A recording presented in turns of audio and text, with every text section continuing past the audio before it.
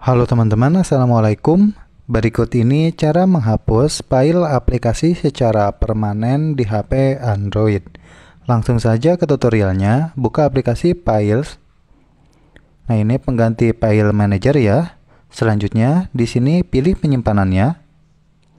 Kemudian pilih folder dari file aplikasinya. Nah, ini dia.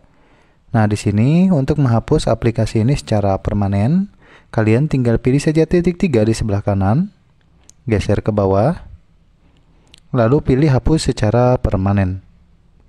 Kemudian pilih hapus. Nah, jika ingin beberapa aplikasi yang ingin dihapus, kalian tandai saja seperti ini. Lalu geser. Kemudian tandai aplikasi yang lain Nah, di sini untuk menghapusnya, pilih titik tiga di sebelah kanan atas, geser ke bawah, pilih hapus secara permanen. Kemudian ada notice, kalian pilih saja hapus. Dan file aplikasinya sekarang sudah terhapus.